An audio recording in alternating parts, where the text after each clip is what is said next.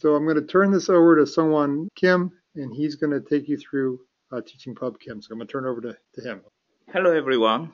Thank you very much for joining us today. For next 20 minutes or so, I'm going to talk about how to use PubChem in the chemistry classroom. So what is PubChem? PubChem is a public chemical information resource at NIH. Basically what it does uh, is to collect chemical information from hundreds of data sources in the public domain and disseminate it back to the public free of charge. PubChem is a very popular uh, chemistry website. For example, last March we had more than 2.9 million unique users. Then who are our users? Generally speaking, about half of our users are aged between 18 and 24, and those in this age group are likely to be college students. And many of them are required to take some chemistry courses like general chemistry or organic chemistry. Then you may wonder how they use PubChem. The most common use case of PubChem is search through Google. People go to Google to search for a chemical by name, and usually it gives a PubChem record near the top of the search result. Then people click it to go to PubChem and get the information they need. Basically, Students are using PubChem as a reference material like CRC Handbook or Merck's Index. Essentially, this has been a traditional activity in the chemistry classroom for decades or perhaps centuries. Let's suppose that you want to find some property of a chemical, uh, let's say uh, the boiling point of ethanol. You can find it from PubChem much quicker than from any hard copy references, but at the end of the day, what you learn from this activity is still the boiling point of ethanol, regardless of where you find it, and the educational value of this activity is not very different regardless of what reference you use. Then, what additional educational values can PubChem provide uh, compared to the 19th century Merck's Index? To answer this question, uh, we have to look at PubChem in a different way. Most people view PubChem as a single information resource. But you can also view PubChem as a gateway to many information resources. In other words, PubChem provides access to all sorts of chemical information scattered across hundreds of data sources. With that said, students are now exposed to an extremely large amount of data, so it is necessary for us to help them to get the most out of this big chemical information. It means that more emphasis of chemical education should be given to uh, chemical information. Then what can you teach uh, using PubChem? Here are some examples and we are going to review them briefly uh, during this webinar. First, PubChem can be used to help students uh, to build the ability to critically assess chemical data. Uh, today I'll show you two examples. Uh, the first one is about finding the boiling point of benzene uh, from PubChem. This is a screenshot for the PubChem compound summary page for benzene. The compound summary page uh, provides an aggregated view of all information available in PubChem for a given compound. If you scroll down this page, uh, you will find the boiling point section for benzene. Currently, PubChem has uh, six boiling point data from five different sources. Some sources used Fahrenheit and others used Celsius with uh, various precisions. and one source explicitly specified the atmospheric pressure at which the boiling point was measured, which is a good practice. And importantly, some gave a single value as a boiling point, but others gave a range of values.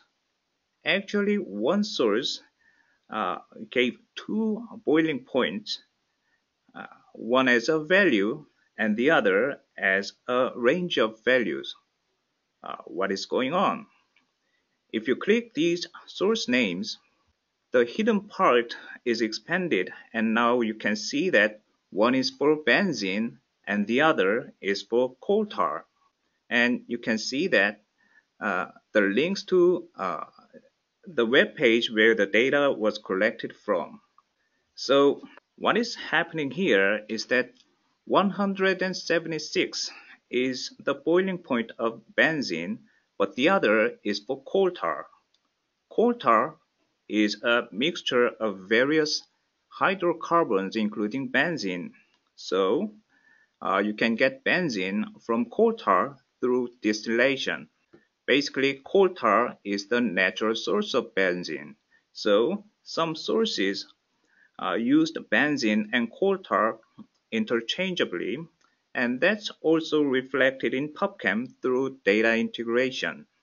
So from this example, students can learn uh, that there are multiple contexts of a chemical and understand why they are integrated in a single record and realize that care should be taken when searching for chemical data.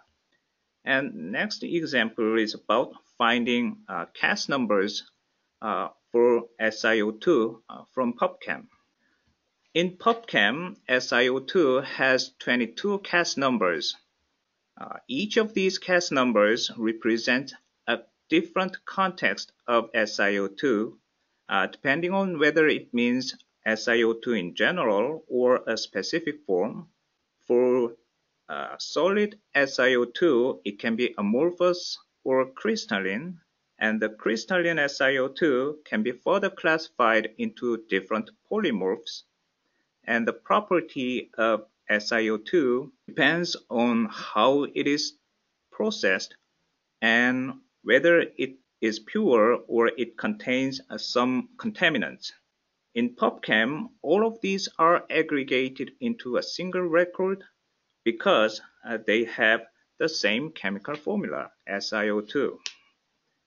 So again, from this example, uh, students can learn the importance of the context of chemical data.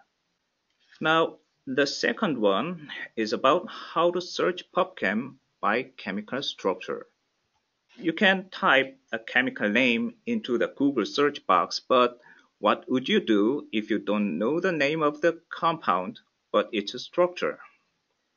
In PubChem, uh, you have two options. First, you can draw the structure using molecular drawing software called PubChem Sketcher, or use a line notation for the structure. Several line notations for chemical structures have been developed, but uh, the most commonly used ones are SMILES, InChIs, and InChIKeys, and all of these are supported in PubChem. Currently, PubChem has uh, two structure search interfaces. Uh, chemical structure search is older but a stable interface, and PubChem Search Beta uh, it uses newer technologies, but it was released as a test version. You can access the two structure search interfaces uh, from the PubChem homepage and both interfaces support uh, various types of search including identity search, substructure superstructure search, and similarity search and molecular formula search. And you can provide the input structure uh, using uh, PubChem compound ID or line notations like SMILES, InChIs, and InChIKeys. And you can also draw the input structure using the uh, PubChem Sketcher or upload a file that contains the input structure. And PubChem is actively working on a new interface that uh, that will replace the two existing interfaces, so please stay tuned. Another important topic to cover is structure clustering and structure activity analysis, or SAR analysis. Structure clustering is about grouping compounds into small clusters according to their structural similarities. It is helpful in classifying molecules according to their structural characteristics. As an example, these are some anti-allergic agents from PubChem. Uh, they can be grouped into three major clusters like dipeptides, glucocorticoids, and antihistamines. Based on these uh, clustering results, you can expect that the anti-allergic activities of these compounds may come from three different mechanisms of action. And SAR analysis is about clustering compounds and bioassay data simultaneously. It is useful for identifying uh, structural characteristics responsible for the bioactivity of molecules. Unfortunately, the structure clustering and SAR analysis tools will be retired uh, by the end of this year, but the same tasks uh, can still be done using third-party software after downloading necessary data from PubChem. Last one is automated data retrieval using a computer code. Uh, PubChem provides multiple programmatic access routes. Among them, PUG-REST is the simplest and easiest to learn and use, and it can be used with popular programming languages like Python, so students can learn how to automate data retrieval from PubChem by writing a short script. Now, uh, let me briefly talk about uh, Cheminformatics OLCC. It was an NSF-funded project led by uh, Professor Belford at the University of Arkansas Little Rock, and PubChem was actively involved in this project as part of our outreach efforts toward the chemical education community. Well, Teaching cheminformatics to undergraduate chemistry majors has many unique challenges. First, uh, cheminformatics is not a field of chemistry, but a mix of many different fields. Because of that, not so many faculty members with cheminformatics expertise who can teach the course. In addition to that, there is no textbook suitable for uh, undergraduate chemistry majors. There are some cheminformatics textbooks, but most of them are written for uh, computer science majors or graduate students, or cover somewhat narrow topics that focus focuses on uh, medicinal chemistry and drug discovery. And Cheminformatics OLCC aimed to address these issues at least partially. In Cheminformatics OLCC, cheminformatics experts were recruited uh, from various places including industry, government, and academia, and they prepared online reading materials and homework problem sets, and they were made available online through the OLCC website. And the instructors at multiple participating schools used these online materials uh, to deliver the cheminformatics course at their schools. Concurrently, the instructors had face-to-face meetings with students in the classroom. At the same time, the cheminformatics experts got engaged in online discussion with students through OLCC website. Uh, we ran this course twice in fall 2015, uh, we had about 30 students from four schools, and in spring 2017, uh, there were about 50 students from 10 schools. All the course materials developed during this course are available at the OLCC website and LibreText. So if anybody wants to use these materials for his own course, he can use them for free. And many of these course materials cover PubChem data, tools, and services. Here is a quick summary of PubChem related topics covered in the Cheminformatics OLCC. And basically, it includes everything that I mentioned today and more. In summary, a majority of PubChem users are likely to be college students, and they use PubChem as a reference material. But there are many other things that students can do beyond this use case, and PubChem can also be used as a free online cheminformatics education resource. And Cheminformatics OLCC is a good example. And finally, uh, we are very interested in working together with the chemical, uh, chemical education community. So if you're interested, uh, please reach out to us for collaboration. Uh, thank you, and I'm more than happy to answer your questions. Thank you, Sunghwan. Uh, we'll leave it open for a couple of minutes to see if there are any questions. Looks like we do finally have a uh, couple of questions, so let me get to those real quick there are two questions that sort of relate to the same thing.